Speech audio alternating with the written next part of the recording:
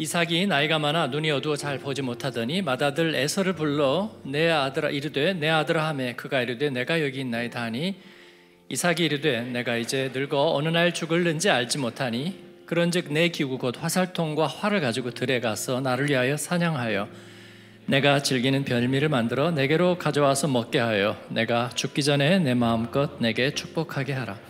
이삭이 그의 아들 에서에게 말할 때 리브가가 들었더니 에서가 사냥하여 오려고 들러 나가매 리브가가 그의 아들 야곱에게 말하여 이르되 내 아버지가 내 형 에서에게 말씀하시는 것을 내가 들으니 이르시기를 나를 위하여 사냥하여 가져다가 별미를 만들어 내가 먹게 하여 죽기 전에 여호와 앞에서 내게 축복하게 하라 하셨으니 그런즉 내 아들아 내 말을 따라 내가 내게 명하는 대로 염소 떼에 가서 거기서 좋은 염소 새끼 두 마리를 내게로 가져오면 내가 그것으로 내 아버지를 위하여 그가 즐기시는 별미를 만들리니 내가 그것을 내 아버지께 가져다 드려서 그가 죽기 전에 내게 축복하기 위하여 잡수시게 하라.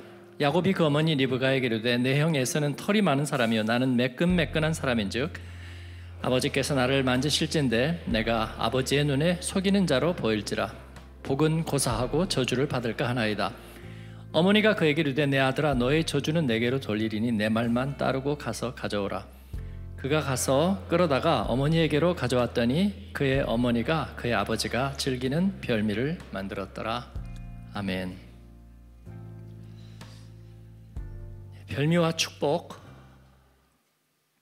오늘 여러분과 함께 나누고 싶은 말씀의 주제입니다. 오늘 말씀은 역시 축복에 대해서 말씀하고 있는데 하나님의 축복은 어, 다 플러스입니다.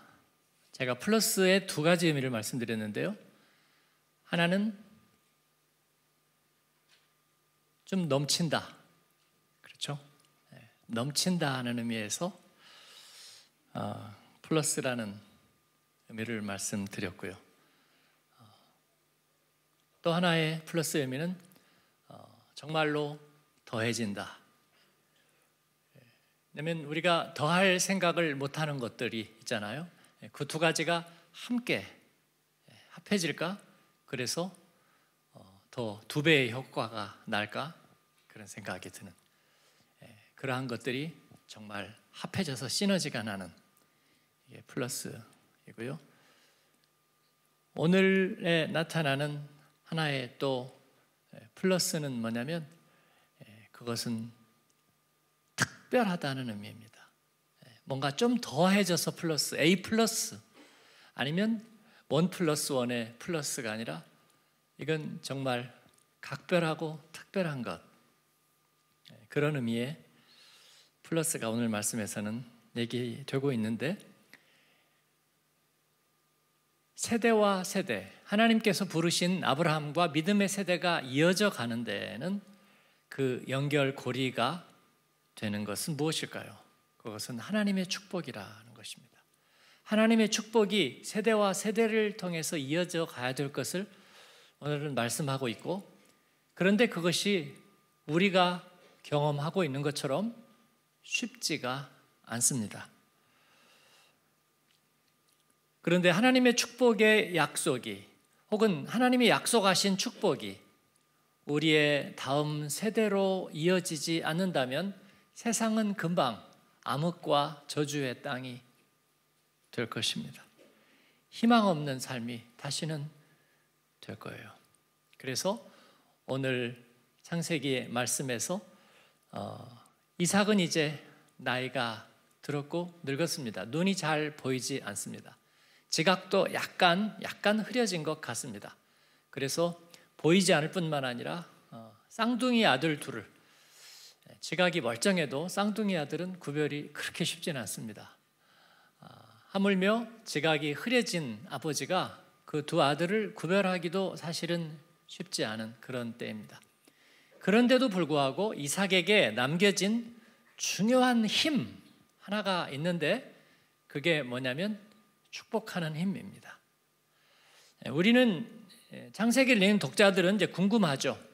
늙은 아버지 와 그리고 어, 그의 두 아들 그 중에서 어, 장자와의 상속과 권한을 아버지의 권한을 가질 사람은 예, 간발의 차이로 태어난 쌍둥이지만 어, 장자인 형에게 주어졌을 거라는 것은 분명한 사실입니다.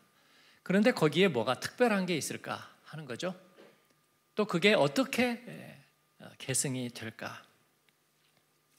여기에서 이삭은 하나님이 자신에게 주신 축복의 권한, 자기 아들에게 하나님이 약속하신 예, 하늘과 땅의 축복, 자손의 축복.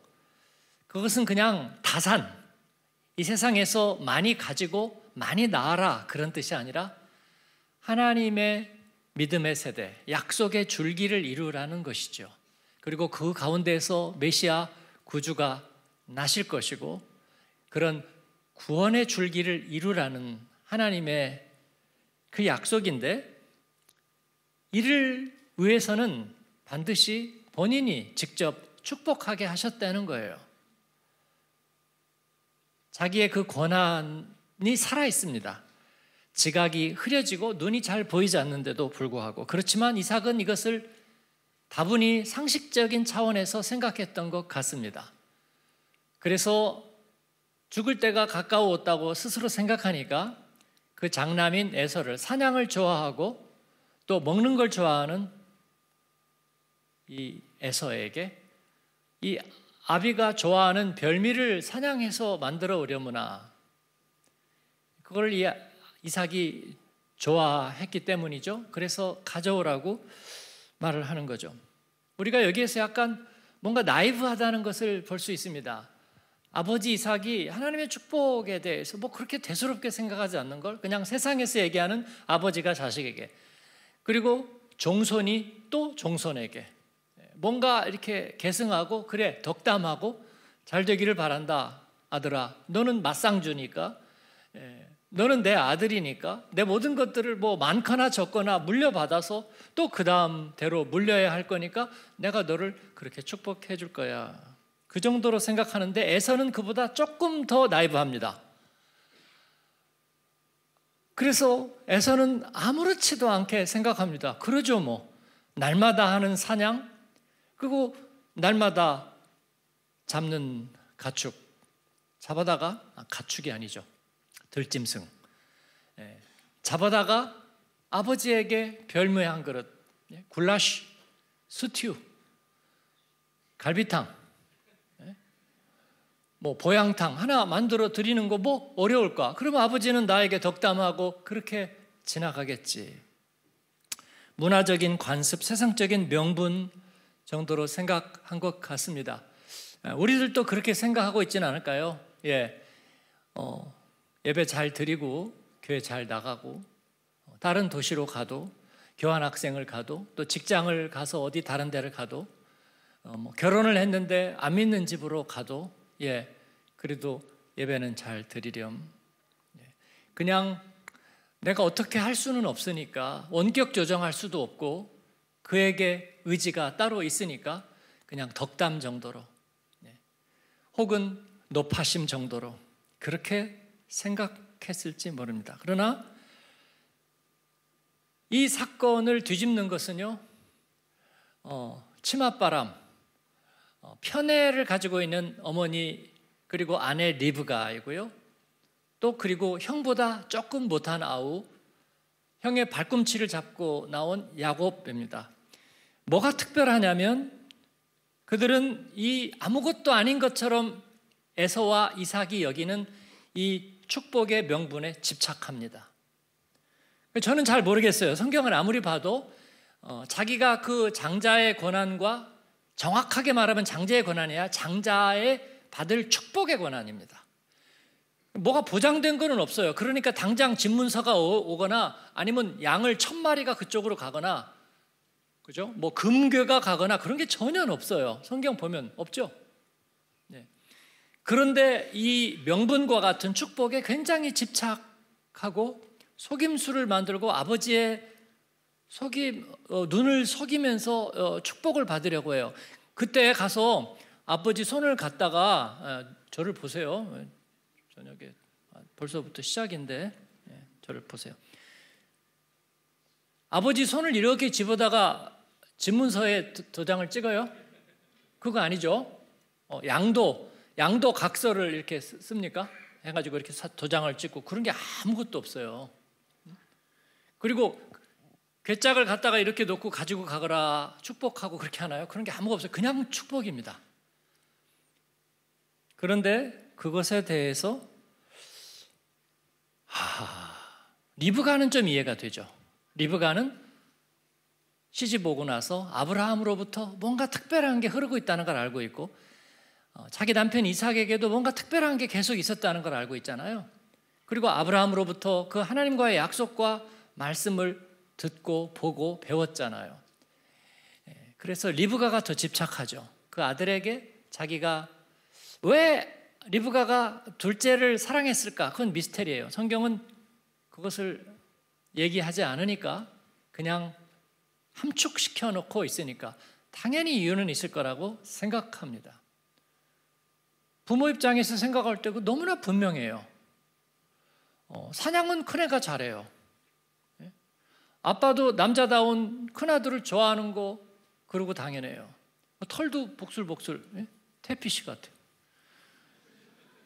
근데 둘째는 뺀질뺀질해. 아, 털도 없어. 어, 자기는 맨질맨질하오니 그 맨질맨질하고요. 그리고 주로 집에 있고 어, 엄마하고 얘기가 잘 통해. 그러나 그 엄마가 볼 때이 예, 축복의 성격이 누구에게 더 맞을까 하는 면에서 엄마의 생각은 분명한 것 같아요. 문제는 하나님이 정말 자기들이 아무나 정해도 하나님의 축복을 그렇게 가게 할 것이냐 하는 게 문제죠. 그런데 엄마 리브가는 무대뽀예요. 그러기나 말기나. 무대뽀인지 아니면 뭔가 확신이 있거나 아마 이쪽일 거야 라는 생각을 분명히 하고 있거나 그럼 남편은 뭐예요? 남편은요? 제가 여기서 이렇게 표현해서 미안합니다. 등신이에요? 어? 잘 보이지도 않고 지금 뭐 아들 분간도 못하는 아니요 그건 아니고요. 아버지는 그 축복의 권한을 갖고 있는 사람이죠. 근데 여기에서 드러나는 게 뭐냐면 성경이 오늘 얘기하려고 하는 게 축복의 특별함이에요. 축복의 특별함. 예. 축복을 히브리어로 베라카라고 하고 장자권을 베코라라고 해요. 약간 언어 유시가 있는 것 같기도 해요. 말이 비슷하죠. 뭐 베라카나 베코라나 뭐 그게. 그러니까 에서에게는 그게 거기서 거기에요. 하나님의 축복이나 장자권이나 땅에서 잘 되는 것이나 뭐 하나님이 나를 축복한다는 거나 둘 다 거기서 거기야. 아, 별로 도움이 안 돼. 배고프면 그냥 주간 그릇 먹고 고기 한 점 먹으면 되는 거지. 뭐 그렇게 중요하랴? 아, 물론 명분은 가오죠, 가오. 예. 내가 그래도 큰아들이야. 내가 그래도 족장이야. 그런 가오는 있지만 실속은 없어. 예. 그래서 뭐 장자가 되면 뭐 주그냐? 에 없어, 없어, 없어. 예. 너희네가 그냥 이렇게 축복 한번 하고 뭐그 그 정도야. 아, 그러니까 팥죽 주간 그릇 쏟달래잖아. 그럼 이렇게 한다고. 네. 그, 나 그거 빨리 하러 가야 돼. 네, 그런데 둘째는 그게 아닌 거죠. 뭔지 모르게 거기에 집착하고 거기에 대해서 네. 자연적인 질서로는 자기는 얻을 수 없는 네, 이를 그 편애하는 엄마 리브가와 합작으로 쟁취하려고 했다. 이건 굉장히 세속적인 드라마인데 눈여겨볼 게 있다는 거예요. 첫 번째, 이 축복은 그들이 생각하지 못했던 정도로 그 다음 세대로 이어가는 굉장히 중요한 값어치라는 거예요. 이 축복은요, 굉장히 중요한 값어치라는 것입니다. 우리가 실제로 이를 알게 됩니다. 나중에 에서와 야곱의 삶은요, 동이 서에서 본것 같이 난류와 한류가 만나지 않는 것처럼 완전히 갈라집니다. 그렇죠? 그렇습니다. 이건 굉장히 중요한 가치다. 저희도 그렇게 믿습니다. 우리가 가지고 있는 이 복음과 하나님을 향한 진심. 요즘 뭐 그런 말 하죠. 아, 저분이 먹는데 진심이야. 어? 뭐 그런 거 얘기하죠. 어, 먹는데 진심이야. 제가 요즘 말 별로 안 좋아하는데 그 말은 굉장히 마음에 들더라고요. 어, 예. 그런데 왜냐하면 제가 그 말을 생각했잖아요. 한마음교회 사람들은 뭔가 좀 약간 요즘 분위기하고는 잘 안 맞아. 어? 요즘 뭐 요즘 교회 그렇게 열심히 안 돼. 우리끼리 얘기했는데 한국에 요즘 그렇게 교회 열심히 안 다녀요. 예? 근데 여기 오니까 어, 교회에 진심인 사람들이 있어요. 복음의 진심인 사람들이 있어요. 그 목사님이 그렇게 막, 막 영향력 있게 꼬드겨서 어, 좀 넘어가 있나 보니까 뭐또또 별로 그런 것 같지도 않아요. 예. 그런데 왜 그렇게 복음의 진심일까?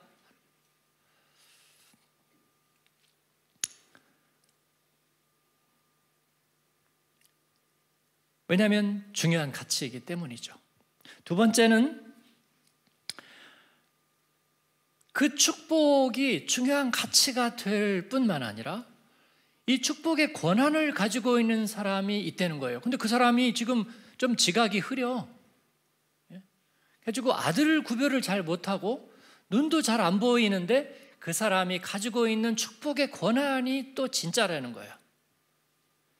그리고 그가 안수해주는 그리고 축복해주는 즉 그가 가정 예배를 드리든지 딸아 아들아 내가 너를 축복한다. 그게 굉장히 중요하다 하는 거예요. 예? 이삭의 축복과 안수가 바로 그렇습니다. 하나님이 이를 접수하세요.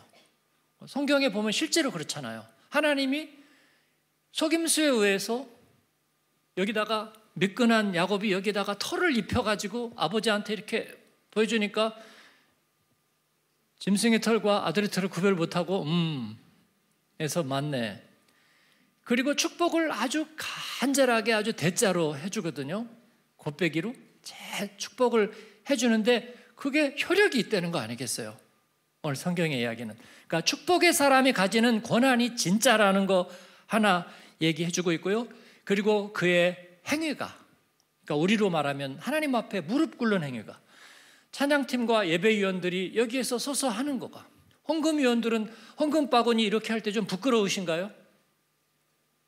그걸 진정한 하나님 앞에서의 예배 행위로 생각하나요? 아니면 교회 안에서 하는 의례적인 걸로 생각하나요? 안내위원들은 부끄러우신가요? 이 안내하려고 그러니까 사람들이 약간 불쾌한 표정을 짓고 있을 때 마음에 시험이 드시나요? 어, 그런데 하나님께서는 이 축복의 행위들이 유효하다고 적어도 오늘 말씀에서는 얘기하고 있는 거예요. 왜냐하면 그에게 권한을 주었기 때문이에요. 그렇죠? 한국의 백화점 가면 전에는 엘리베이터 걸도 있었죠. 예? 뭐 이렇게 이렇게 그래야지 엘리베이터가 올라가고 내려가죠. 요즘은 그거 없더라고요. 복장을 입고 그리고 지하도에 주차장에 갈 때도 거기 안내하시는 분들이 있는데 저는 그분들 볼 때마다 멋있다고 생각이 됐어요. 야, 저렇게 멋있고 잘생긴 사람들 여기다 놔두면 될까? 그런 생각이 들었는데, 예. 근데 그분들도 그렇게 부끄러워하지 않는 것 같아요. 근데 그거 알고 보니까 그거 하고 엘리베이터도 하다가 또 다른 부서로도 간대요. 평생 그것만 하는 게 아니고 그러니까 방송에서 왜 기상 기상 정보 얘기하는 분들은 그것만 한대요. 앵커 우먼이나 이런 데로 가지는 못한대. 계속 그것만 한대. 그죠? 예, 근데 백화점에서는 그거 하다가 또 다른 부서로도 가는 모양이에요. 그러니까 자랑스럽게 하잖아요. 예. 야곱이 지금 어 축복을 받으려고 하는 그 손과 그런데 누군지 분별도 못하고 이렇게 떨리는 옛날에 유학할 때 중고차 잘 사는 분이 계셨거든요. 예, 싸고 좋은 차를 잘 사는 법을. 예, 그러려면 신문을 보면서 부자 동네인지를 확인할 것, 예, 그리고 주인이 노인인지를 확인할 것. 그러면 적게 뛰었다는 거예요. 그래서 횟수는 8년, 10년 됐는데 분명히 몇만 킬로 안 뛰었을 거라고. 예, 그리고 보면은 그 전에는 열쇠를 다 꽂았잖아요. 열쇠 꽂는데 이렇게 줄이 많이 쳐져 있을 거예요. 나이가 들어 손이 떨리니까 한 번에 못 꼽아가지고 계속 옆에다가 이렇게 긋는데요. 예, 그런 차를 사면은 차가 좋다는 거예요. 그리고 잘 살기 때문에 예, 깎아달라 그러면 자꾸 깎아준다는 거예요. 어, 뭐 하는 것마다 얘기하면 자꾸 깎아주고. 예. 그렇듯이 이 이삭 그가 나이가 들어 있지만 그럼에도 불구하고 그가 가지는 권한은 진짜라는 것. 세 번째는요. 그 축복에 있어서 이삭이 말로 축복을 하잖아요. 마음으로 축복하지 않고 말의 중요성입니다. 축복할 때 말하는 중요성이 있는 거예요.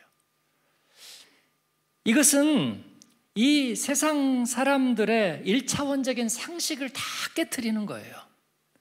세상 사람들에게 축복이라는 것은 그냥 덕담일 뿐이고요. 축복의 권한을 가진 존재라는 건 있지도 않아요. 그리고 미래의 다음 세대를 위해서 뭔가가 구속력 있는 뭔가를 줄 수는 없어요. 줄 수 있다면 땅 문서, 줄 수 있다면 무슨 보이는 물질, 그런 것 외에는 줄 수 있는 게 아무것도 없어요. 그리고 언어라는 것은 있는 것을 묘사하는 수단이에요. 언어라는 것은 나의 욕구를 표현하는 방식이에요. 언어라는 것은 서로 다른 존재들이 소통하는 형식이에요. 그것도 요즘은 뭐 구글이 좀 대신해주고 뭐가 대신해주고 그런 것들을 의지해요. 그런 것들로는 새로워지는 것은 기대하기 어렵고 가능하지도 않아요. 그러니 그런 게 어떻게 축복이 되겠어요? 말로 해서 축복이 된다면 내가 백만 번이라도 하지. 그러나 아무도 그를 믿지 않습니다. 그렇기 때문에 생기는 현상이 뭔 줄 아세요, 여러분? 아무도 축복의 표현을 하지 않아요. 그런 얘기하면, 어, 닭살도다. 어색해. 소름이야. 그렇게 말하는 거예요. 그래서 다 부정적인 언어를 뱉어요. 왜냐하면 언어가 오염되고 저주되었기 때문입니다. 그러면 인간의 삶을 통제하고 인간에게 뭔가를 가져오는 것은 뭘까요? 보이는 것과 있는 것이에요. 있는 것. 현재 있는 것. 현재 있는 질서. 그렇기 때문에 내일 일은 모릅니다. 예. 코로나가 지나가고 또 미래학자들은 전부 다 비관적으로 예언합니다. 어, 코로나보다 더 큰, 더 어려운 바이러스는 분명히 온다. 그리고 곧 우리는 마스크를 다시 쓰게 될 거다. 그래서 인간은 호모 사피엔스가 아니라 호모 마스쿠스가 될 거다. 그렇죠. 마스크 아예 마스크 쓴 존재가 될 거다라고 말해요. 축복은 아니죠, 여러분. 예, 그렇습니다. 이것을 옛날에 마르쿠제라는 철학자가 얘기했나 1차원적 인간, 아인 디멘전을 맨시. 그렇습니다. 그러나 하나님께서는 달라요. 하나님을 기억하고 하나님이 우리에게 약속하신 것을 기억하고 기억할 뿐만 아니라 이를 따르는 사람들에게는 하나님은 하나님의 힘, 축복을 주신다. 축복. 그 축복은 미래를 열어가는 힘이 되고 통로가 되고 그리고 결과가 된다. 그런 것입니다. 그래서 오늘 우리가 성만찬을 나누겠지만 이것은 예수 그리스도 안에서 우리에게 주신 생명의 힘과 능력입니다. 물론 떡과 포도주는 상징이지만 그러나 이를 우리가 분명하게 믿음으로 받을 때 이게 우리 안에서 생명과 능력이 될 겁니다. 우리는 그렇게 믿고 그렇게 나눕니다. 이 세상의 일차원적인 인생이 이것을 어떻게 알겠습니까? 영적 우주를 알지 못하는 이들이 어떻게 이것을 알겠습니까? 그러나 그 약속을 믿고 따르는 이들에게는 우리에게 이것은 결과와 열매가 되는 거예요. 그래서 정리하면 에서가 그 약속을 가로채고 축복을 가로채려 아니 야곱이 그 에서에게서 가로채려 하고 리브가는 속임수를 쓰지만 그런데도 불구하고 하나님의 축복은 그것에 의해서 오염되거나 굴절되지 않는다는 거예요. 그리고 이 축복은 다음 세대로 가는 가장 중요한 열쇠가 된다. 두 번째는 이 축복의 행위, 안수하고 축복하는 이 행위 자체는 하나님께서 접수하신다. 세 번째는 축복의 말의 내용은 그대로 이루어진다. 입으로 선포된 것에 따라서 하나님은 인간의 삶의 길이 결정되게 하신다. 할렐루야. 그래서 우리가 축복하는 거예요, 여러분. 교회에서 옆 사람 축복하세요. 그럴 때 진짜로 하세요. 옆 사람이 축복합니다. 그러면 받으세요. 근데 저 사람이 나를 평소에 멸시하던 사람인데 어떻게 잘못하다가 옆에 앉았어. 인사도 잘 안 받던 사람이 옆에 앉았어. 근데 축복하세요. 그리고 이렇게 앞에서 쳐다보고 있으니까 저 사람도 잘 모르고 우연히 하다가 깜짝 놀라면서 축복합니다. 그랬어요. 그래도 받으세요. 왜냐하면 그 사람의 인품과 성격과 됨됨이의 축복은 매이지를 않아. 왜냐하면 그 자체의 힘을 가지고 있어. 오늘 말씀이 가르쳐 주는 것은 바로 그것입니다. 그것입니다. 그렇죠? 그것입니다. 말씀대로 이루어집니다. 그리고 우리의 입의 고백대로 하나님께서는 시행하시겠다고 약속하세요. 하나님의 축복은 더더군다나 그렇습니다. 그 다음 네 번째는 축복은 미래를 결정하는 힘이라는 거예요. 할렐루야. 미래를 결정하는 힘. 자, 그러면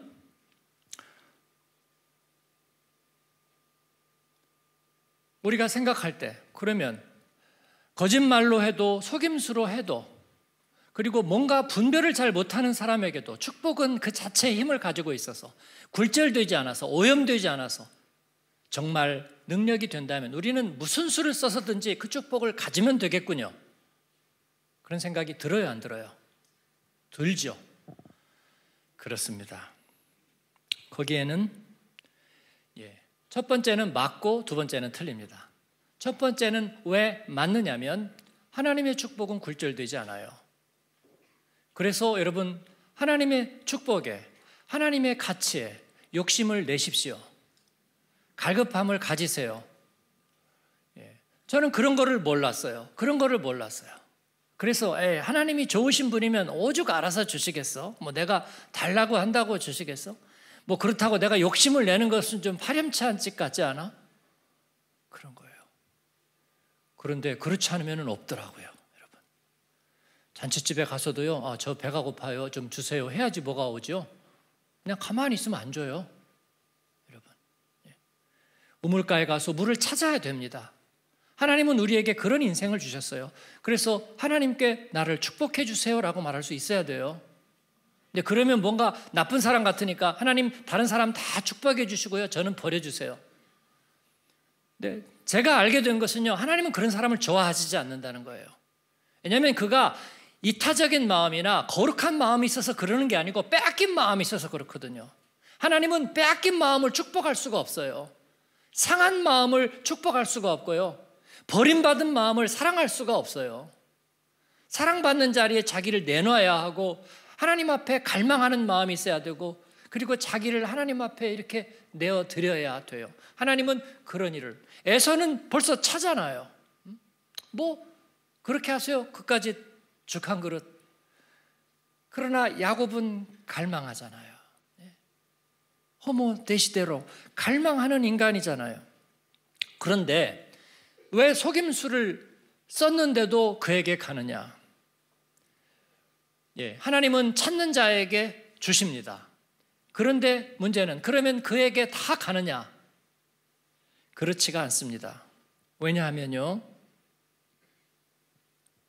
하나님의 축복은 소유되지 않기 때문입니다. 우리가 수단과 방법을 가리지 말고 하나님의 축복을 구해야 되는 것은 맞은데 그러면 주십니다. 그래서 야곱에게 주세요, 하나님이. 예서는요, 아, 이삭은요, 야곱에게 정말 진심에서 축복하고 그걸 물리지 않습니다. 나 너 잘 못 알아보고 그랬으니까 그거 취소. 예. 무효지롱. 더 안 좋은 일이 일어나지롱. 왜냐하면 네가 거짓말했기 때문이지롱. 그렇게 하지 않았습니다. 이삭이 그것을 알고 너무 허탈해합니다. 너무 허탈해하고 에서도 아무렇지도 않게 여겼던 것이 진짜 중요하다는 걸 그제서 깨닫고 엉엉 울면서 나이 40이 넘어가지고 말이야. 그죠? 결혼한 게 40이잖아요, 에서가. 엉엉 울면서 아버지여 내게도 하옵소서, 내게도 그리하옵소서라고 울잖아요. 제가 이 말씀 읽으면서 좀 슬퍼질 뻔 알았어요. 예. 내게도 그리하옵소서, 내게도 그리하옵소서. 그게 아 힘이 있다는 걸 이제야 알게 됐는데 야곱이 이를 가졌잖아요. 그러면 축복은 소유될 수 있느냐? 아니요, 소유될 수 없습니다. 소유될 수 없습니다. 이 축복을 받은 야곱은 그러나 이 축복이 가진 자체의 힘을 따라가게 될 겁니다. 자체의 힘을 따라가게 될 거예요. 이 축복의 힘은 그를 운, 새로운 운명으로 이끌고 갑니다. 어떤 운명으로요? 그를 변화시킬 겁니다. 그를 변화시킬 거예요. 그리고 그에게 새로운 경험을 하게 할 겁니다. 그리고 성장하게 할 겁니다. 그리고 그걸 열두 지파의 아버지가 되게 하고 믿음의 적장이 되게 할 겁니다. 예수 믿은 우리는 부르심 받은 우리는 아 좋아요. 할렐루야. 하나님 그렇게 해주세요. 야 이게 얼마나 멋진 일이에요. 근데 세상 사람들은 그렇게 생각 안 해요. 네? 변화시키고 성장시키고 시련의 골짜기를 넘어 내게 아름다운 정상에 오르게 할 거야. 하나님은 너를 믿음의 적장으로 지파의 아버지로 야외의 지파의 아버지로 그렇게 만들 거야. 세상 사람들은 관심 없어요. 저거 관심 없거든요. 네. 그래서 야곱이 받은 축복은요 세상 사람들이 그렇게 부러워하고 질투하고 하나님이 불공평하다고 얘기할 수 있는 그런 축복과고는 좀 달라요. 그렇습니다. 그는 아버지의 유산과 자기 꾀로 벌어들인 그 많은 재물 삼촌에게 다 줘야 됐고요. 라반에게 뭐 거의 사기성으로 다 줘야 됐습니다. 그리고 나중에 자기를 죽이려 하는 형 에서에게 모든 소유를 다 들려 보냅니다. 야곱은 자기가 가장 사랑했던 아내 라헬과 꿈과 같은 시간 오래 보내지 못했어요. 둘째 아들 베냐민을 낳으면서 난산으로 죽어야 되었습니다. 가장 사랑했던 아들 요셉은 일찍 떠나보내고 죽은 줄 알고 그의 머리는 백발이 되었습니다. 막내 베냐민도 애굽의 인질로 잡힐 뻔 알았습니다. 그래요. 그의 축복은 자기가 소유할 수 있는 게 아니었어요. 그러나 하나님의 약속은 모두 이루어졌습니다. 하나님의 약속은 모두 이루어졌어요. 하늘의 문을 보게 하셨고 열두 지파의 아버지가 되게 하시고 파라오 앞에서 당당하게 선포하며 애굽의 왕을 축복할 수 있는 권세를 주셨습니다. 그러니까 하나님이 공평하지 않습니까? 하나님은 공평합니다. 그리고 마지막 비밀 한 가지 특별한 축복 플러스 이건 뭐냐면요. 하나님은 이를 미리 정해 놓으셨다는 거예요. 우리가 이번 주 암송한 암송 구절이 뭐예요? 로마서 9장 15절에서 16절. 모세에게 이르시되 내가 긍휼히 여길 자를 긍휼히 여기고 불쌍히 여길 자를 불쌍히 여길 것이라 하셨으니 그런즉 원하는 자로 말미암음도 아니요 다른 박제라는 자로 말미암음도 아니요 오직 하나님이 긍휼히 여기시는 자로 말미암음이라 오직 긍휼히 여기시는 이로 말미암음이니 그렇습니다. 하나님은요, 정해놓으셨어요. 정해놓으셨는데 그 정해놓으시니까 이 세상에 그런 것이 아니라 자기가 소유할 수 없는 축복, 그러나 그 축복의 운명 속으로 들어가서 하나님의 영광을 이룰 사람들로. 그러면 우리는 어떤 사람들입니까? 하나님이 정해놓으신 사람이죠. 하나님의 부르심에는 후회하심이 없네. 내가 이 자리에 선 것도 주의 부르심이라. 주의 부르심, 하나님의 부르심에는 결코 실수가 없네. 나를 부르신 하나님의 신실하심을 믿네. 아멘.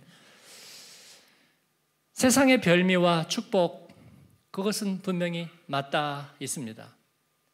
그러나 그 가운데서 하나님은 플러스를 예비하시고 놀라운 일을 예비하셨습니다. 우리가 할 수 있는 일은 하나님의 축복이 열쇠라는 것을 분명히 알고 그리고 이를 사모하는 것입니다. 그리고 우리에게 주신 약속. 저희는 야곱입니다, 여러분. 이미 빼도 박도 못해요. 그렇죠? 예수님 만난 사람은 다 야곱인 거예요. 왜냐하면 구원 역사의 줄기를 이어갈 사람들이죠. 저는 그것을 자주 부인했어요. 내가 예수님 만나고 은혜 받고 그런 거 맞지만 저 저는 아직 잘 아니거든요. 예, 잘 아니거든요. 라고 잘 부인했어요. 예, 그런 정도의 깜냥도 못 되고 그런 그릇도 잘 못 되는 것 같고 제가 그런 일들을 할 수 있을 것 같지도 않거든요. 라고 생각했지만 그러나 하나님은 막무가내요. 하나님은요. 그를 위해서 내가 너에게 트레이닝 스케줄을 가지고 있어. 예.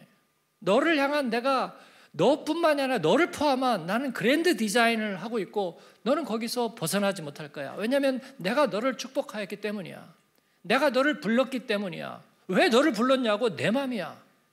원하는 자로 말미암도 아니요 다른 박제라는 자로 말미암도 아니요 오직 긍휼히 여기시는 이로 말미암음이니라. 내가 네가 불쌍해서 너를 택했고 너를 새로운 운명으로 불렀어. 그리고 너에게 플러스를 붙여서 이 세상의 별미보다 더 좋은 별미를 만들고 내가 새로운 길을 이끌어 갈 거야 라고 주님이 말씀하시는 거예요. 어떻게 하시겠어요, 여러분? 아멘입니다. 아멘. 그 주님은 우리에게 그렇게 하셨습니다. 속임수가 아닌 하나님의 주권적인 섭리가 그들의 운명을 사로잡고 있었습니다. 처음에는 도찐 개찐입니다. 에서나 야곱이나 야곱이 조금 더 나은 게 있다면 그는 갈망하는 마음이 있었다는 거 하나가 조금 더 나을까요? 그러나 하나님의 마음은 이미 정해져 있습니다. 그렇다고 에서가 불평할 거 하나도 없어요. 야곱이 뭐 그래갖고 덕을 본 게 없습니다. 하나님의 연단 안으로 너는 이 사명으로 내가 너를 불렀고 내가 너를 지명하여 불렀으니 너는 내 것이야. 내가 그럴 권한이 없느냐? 내가 흙을 빚어가지고 이것으로 귀 쓰는 그릇을 만들고 천이스를 그릇 만들 그런 권한이 내게 없느냐? 너는 내가 불렀고 너희들이 내게 은혜 받고 응답했잖아. 그러니까 너희를 새로운 운명으로 인도할 거야. 주님은 그렇게 말씀하십니다. 이를 받아들이십시다. 아멘. 돌아설 수가 없어요. 하나님의 부르심은 결코 후회하심이 없습니다. 사랑하는 여러분, 그런 주님을 찬양합니다. 이 사순절에 그 주님의 마음을 우리가 간직하고 그 주님과 함께 동행하면서 우리가 연단되고 준비되는 저와 여러분 되기를 바랍니다. 퀘스천 마크 이제 그만. 의심은 이제 그만. 뒤돌아설까 말까 그런 건 이제 그만. 우리가 하나님 앞에 마음을 들여서 그렇게 달릴 수 있는 저와 여러분 되기를 바라고 여러분이 카드 받으신 대로 사순절의 결단에서 실질적인 결단을 올려드리고 40일 동안 우리 한번 일 냅시다.